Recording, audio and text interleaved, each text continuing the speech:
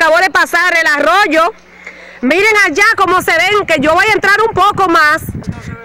Que no, pero yo voy a entrar más para allá.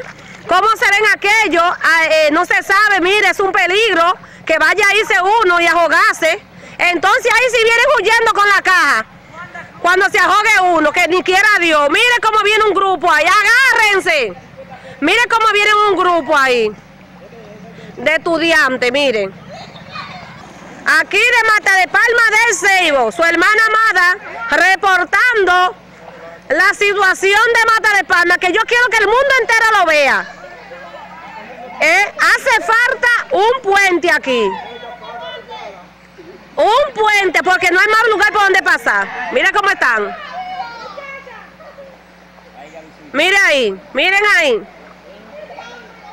que fueron captadas esta mañana y teníamos a la señora que nos está narrando. Yo quisiera que recuperáramos las imágenes para explicarle un poco de qué se trata. Son los niños de una comunidad que pertenece al Ceibo llamada Mata de Palma.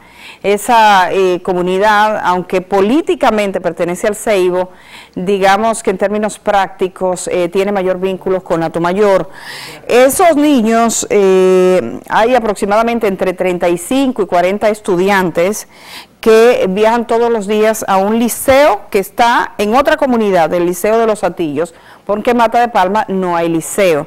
Eso es aproximadamente 20 kilómetros de distancia. Los niños tenían muchos problemas, los jóvenes ya adolescentes, para viajar a este liceo. Y en enero de este año le pedían una guagua al presidente de la República cuando estuvo visitando en una visita sorpresa. Me dicen que esa fue una de las cosas que sí se cumplió, la guagua efectivamente llegó, pero desde que cae un poquito de agua, ustedes lo que pase, yo fui a esa comunidad, fue una comunidad donde mataron a unos extranjeros, eh, por asuntos parece que vinculados a la droga, donde apareció una persona eh, quemada y entonces en ese momento fui a esa comunidad que tiene varios ríos para usted llegar hasta ella. De hecho, eh, está imposibilitado de conducirse al Ceibo, por eso tiene más vínculo con Alto Mayor, por el río La eh, que, que no, las condiciones están muy malas. De modo que se van por este lado y ese es el arroyo del Granel, es un arroyo. Por ahí pasan los vehículos diariamente, pero cuando cae un poquito de agua, así está el desborde. Así que un saludo a la gente de Mata de Palma, de la provincia del Ceibo, que es mi provincia, y que me han hecho llegar esta mañana este video. A toda la gente que quiere hacernos llegar cosas, por supuesto, pueden escribirnos, periodista Edith Febles, arroba gmail.com, periodista Edith Febles. Ahí yo recibo, veo y de hecho respondo las inquietudes de ustedes. He recibido muchas informaciones y mucha gente que habla, que presenta casos, eh, por ejemplo de La Vega, en el día de ayer estaba recibiendo algunas personas. Así que gracias a la gente de Mata de Palma, yo quisiera eh, pedir para que recordemos el momento en que a esa comunidad llegó el presidente de la República, eso fue en enero de este año, cuando la señora se paró y le dijo, queremos un autobús para los niños.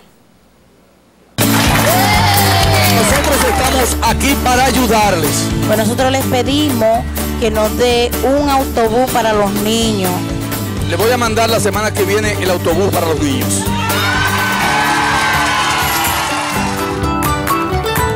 Pronto tendrán también la posibilidad de producir caña para producir panela. Si hay que financiar la ganadería, también la financiamos. Estamos financiando una planta procesadora de leche en Atomayor para que ustedes puedan agregar valor a su leche. Yo quiero que produzcan para que pasen de pobres a clase media. Y en eso que estamos nosotros aquí, ayudándolos a producir con calidad. Ahí tienen al presidente de la República cuando visitó, de hecho sí se cumplió, se cumplió eh, la idea de que tuvieran una guagua, pero están teniendo dificultades para transportarse. Así que es oportuno hacer un llamado para que se haga una revisión de lo que está pasando en Mata de, Palma, porque los muchachos cuando hay lluvia no pueden estar. Ayer entrevistaba al sacerdote, el fraile superior de los agustinos en República Dominicana, el padre Quirilio. Y fue una entrevista amplia, ustedes la vieron, mucha gente la está compartiendo, yo les invito a que la compartan desde el canal de YouTube, yo creo que la gente debe saber, debe conocerlo.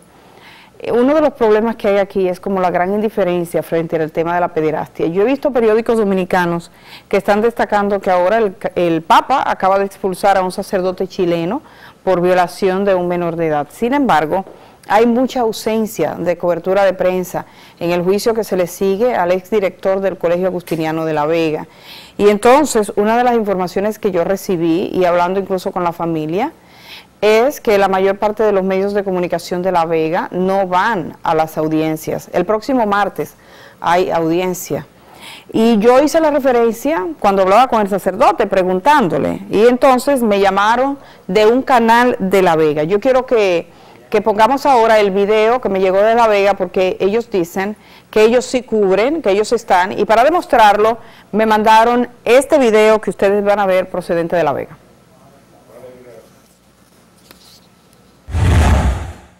Sobre el sacerdote que supuestamente está detenido desde el sábado por una acusación de una violación. Eh, hay una persona, así un religioso, eh, detenido con orden de arresto y este caso lo está llevando la fiscalía. Eh, así que le invitamos a que pasen por la fiscalía para que allí les den más detalles y más informaciones acerca de este caso que está manejando directamente la fiscalía. Pertenece al colegio agustiniano, ¿es cierto? eh? Desconozco eso. Solamente sé que una persona está detenida con orden de arresto eh, como presunto autor de violación sexual. No conozco más detalles, más casos. eh, por, por ende, les, les refiero a la fiscalía. Bueno, ustedes ven, Noticias Vega TV, ellos dicen que sí fueron. A República Dominicana no le luce estar ausente de este tipo de procesos. Este fue un país que tuvo un nuncio, el nuncio apostólico, que abusó de niños. Entonces, no nos luce que, que nos quedemos indiferentes a un caso de esta, ante un caso de esta naturaleza.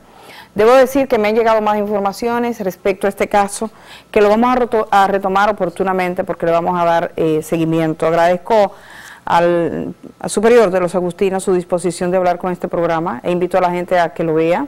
Hay algunas cosas que pueden parecer contradictorias. Creo que aquí faltan normas claras. Yo tengo entendido que los obispos tienen algún tipo de mensaje por estos días, probablemente hoy. Ojalá y aprovechen los obispos de este país, si no el arzobispado, quien sea, se reúnan o cuando sea, para que den una señal clara e inequívoca, que se sepa cómo actuar. Porque una cosa es que le paguen la fianza, una cosa es eh, que tengan ese gesto, podrán decir, bueno, tenemos que pagarle los abogados. Y otra cosa es que le arropen y vaya la congregación a llevarle a las audiencias, a que vayan los empleados del colegio. Yo no puedo entender, por ejemplo, porque la iglesia, lo sabe, es un mundo de símbolos. El símbolo de la cruz, el símbolo de la redención, el símbolo de la cruz. Los símbolos que usted encuentra, el arroz, el trigo, el cáliz, en las misas, eh, tiene símbolos, todos estos símbolos que te dicen y te expresan en qué creen. Bueno, pues el sacerdote acusado de violación ha sido suspendido por esta congregación, pero guardan un símbolo muy significativo. ¿Cuál? Que tienen su fotografía colgada en las paredes del colegio. Yo no puedo entender que en La Vega los papás estén conformes con eso y lo permitan. O sea, que tú tengas a un tipo que está suspendido porque la congregación dice que encontró elementos que eventualmente pueden ser comprometedores, tú lo tengas suspendido, como está en efecto suspendido eh, Fray Florenzán de su cargo, no puede, no puede oficiar misa, no puede reunirse con niños, no puede ir a sus colegios. Sin embargo, ese mismo fraile, su fotografía está colgada en una pared de honor del colegio, porque lo dice un superior en España. Óiganme eso, porque lo dice el superior en España. Ese es el símbolo inequívoco del apoyo de la congregación de los agustinos a este cura, a pesar de que lo tienen suspendido. O sea, hay una contradicción entre la suspensión y tener este tipo de símbolos, que si alguien sabe de símbolos de un cura, yo no tengo que explicárselo, evidentemente. Vamos a hacer una cosa, vamos a ir a un cambio. Agradezco a la gente que nos escribe, véannos en redes sociales, entren a mi canal, por favor, de YouTube y inscríbanse. Vamos a hacer de ese un canal grande para contar la cosa como es. Regresamos de una vez.